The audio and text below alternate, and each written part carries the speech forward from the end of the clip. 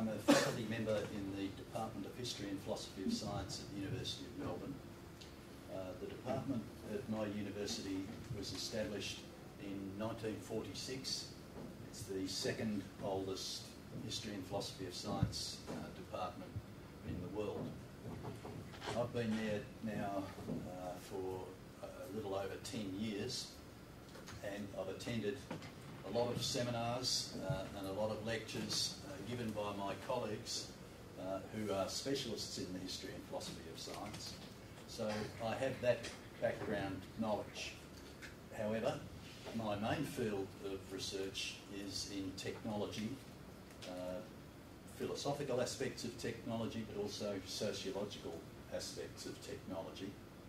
So the history and philosophy of science, or the, the history of science as such, and the philosophy of science as such, is not my key research area. So my remarks to you in the course of this lecture will not be as sophisticated as the cutting edge specialists might provide. However, I'm hoping that it will offer you an introduction to the field which will be uh, cogent and comprehensible and will give you some sort of foundation uh, should you wish to pursue this field um, further, which of course uh, I hope that you do. Now, the question that you um, may well ask is what has philosophy got to do with science in the history and philosophy of science and what has uh, science got to do with philosophy? After all, why should not scientists simply go about their job in their biology laboratories or in their computer laboratories or uh, in their astronomical laboratories and leave the philosophers to themselves? Why would a, why would a scientist be a practicing scientist, engaged with their test tubes and their microscopes and their computer code?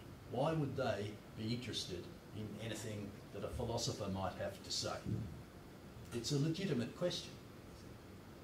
Similarly, why would a philosopher who is interested in the difference between good and evil, interested in how to lead the good life, interested in ethics, why would they be interested in what somebody is doing with test tubes down the corridor? or what somebody is doing looking through a telescope uh, down the corridor. These are, these are legitimate questions. And the, the, the truthful answer, in my experience at universities, is that a lot of the time they don't have anything to do with each other.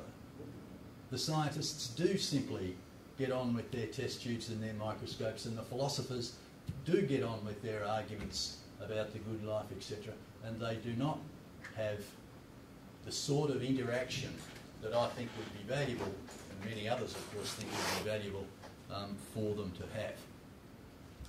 But that having been said, there are a lot of questions that are very profound for science.